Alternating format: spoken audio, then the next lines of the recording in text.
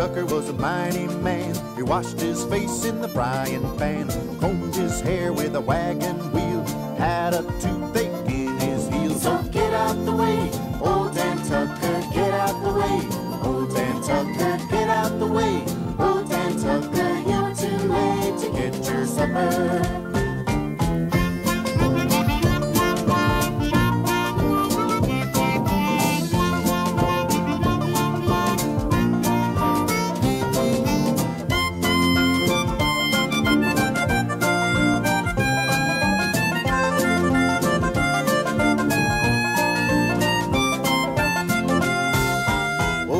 Tucker came to town, riding a billy goat, leading a hound.